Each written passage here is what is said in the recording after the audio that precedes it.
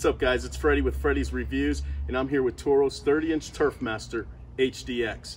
Now before we go into the mower, I want to talk about this iconic company that started in 1914 as Toro Motors, building engines for the Bull Tractor Company. It wasn't until 1924 where they built their first 30 inch mower, but it was a reel blade spinning mower known as the Park Special.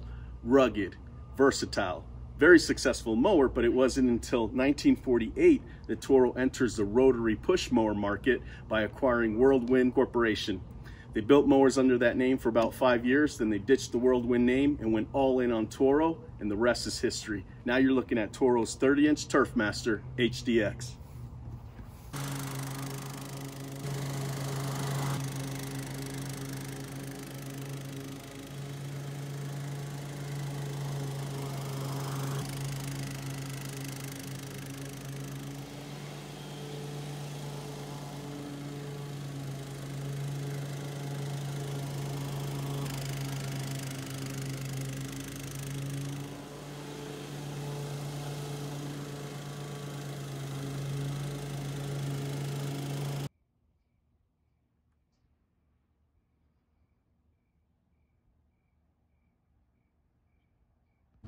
Now the Turfmaster HDX comes with two options. You can option it with the Kawasaki engine like you see here or Kohler.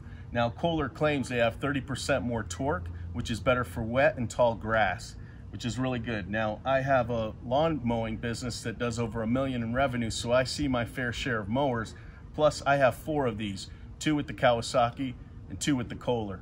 Now, have I really noticed a difference? No, I haven't. So the one of the benefits that you would get by upgrading to the Kohler engine, which is about a $100 more, is the three-year warranty. With the Kawasaki, you get two limited commercial. So you get an extra year with the Kohler engine. This mower weighs 173 pounds, has one gallon gas tank, and goes four miles an hour. Now the deck is multifunctional.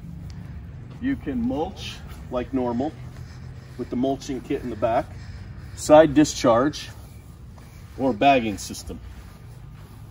Now up here at the handles, the bails, really big, comfortable. There's a safety to engage the blades, and there's the parking lever. Okay, you're probably wondering how much is this mower? With the Kawasaki engine that you see here, you're looking at an MSRP of $2,443. If you option it with the Kohler engine and you're looking at it, that extra year warranty, you're looking at an MSRP of $2,543. So not a bad price for a 30 inch mower. We're here at Cutler's in Orem, Utah with Scott Cutler to take a closer look and to tell you what parts you're gonna need on hand if you buy the Turfmaster HDX. So Scott, what are the pros? Toro's done a nice job with a wraparound bumper all the way around, which is gonna protect it from getting banged when it's out there in use in a yard. They've done a really nice job, reinforced front end to keep it nice and solid, keep things from getting bumped. Larger rear wheels. If you look at the handle, it's complete metal. There's not really much plastics out here. And a couple other things as we tip this mower on the side here. This is a timed blade system. So these blades are gonna overlap and mingle as they're going around. That's gonna prevent any uncut grass. Heavy duty transmission on these. So from the first series generation to what's out now in the HDX, these transmissions are almost double in size. So Toro's tried to really correct a lot of issues or things that they've had problems with in the past. For the commercial guys out there, you might want to have some of these parts on hand. So a couple of things that I would suggest that you have on hand. Spare set of blades. There are pulleys that you may run into issues down the road with just wear and tear. If you clean and clean underneath this cover, that'll eliminate a lot of problems. There's three belts underneath this cover. Simply by removing four screws and periodically cleaning under this cover, you're gonna reduce the wear and tear on your belts as well as on your spindle pulleys here. Um, oil filter, Oil filters should be changed every time you change the oil. Oil filters are inexpensive, oil's inexpensive. That's how you keep your engine running strong. Belts, I'd recommend to have a spare set of belts with this. And once again, there are three belts. We've only got two here, out here for the video. Plan on changing, changing your belts yearly if you're using the machine a lot of hours. It'll run stronger.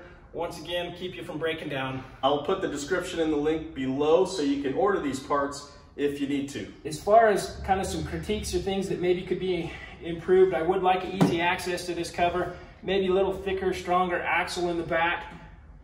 Toro has done several revisions of the transmission. That is an issue that you may see. For the most part, I think it's getting corrected. That being said, overall, I'd, I'd give it a pretty good rating, this mower.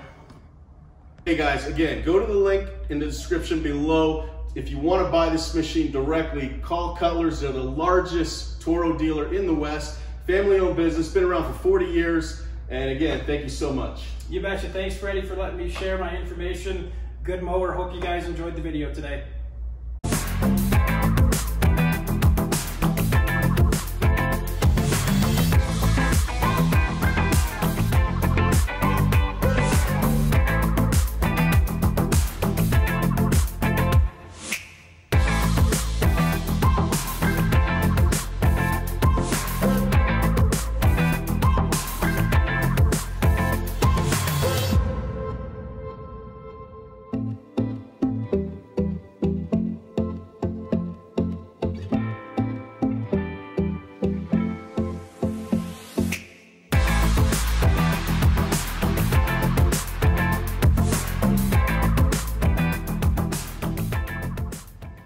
Víctor, ¿qué te gusta de esta máquina?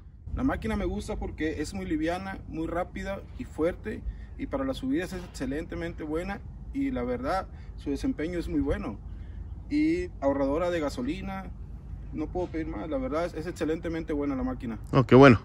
All right, guys, if you're on your way out, smash that subscribe button. I promise you'll see some equipment you'll want reviewed. If you are a subscriber, thank you for being part of my channel. If you want to see more great content like this Turfmaster HDX, click the link below for some Freddie Reviews merch. Also, click the other link to get you some more information on this Turfmaster.